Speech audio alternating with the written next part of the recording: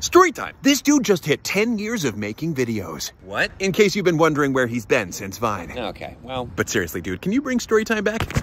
I'll think about it.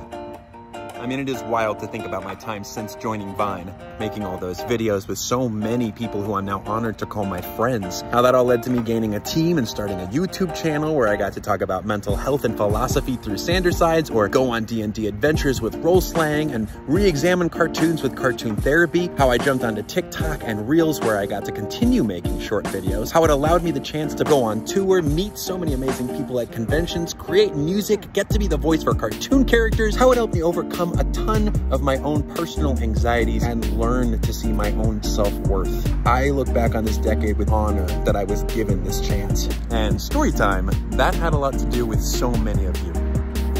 So thank you. This is why the man should only be allowed to talk for six seconds. Okay, listen up, haircut.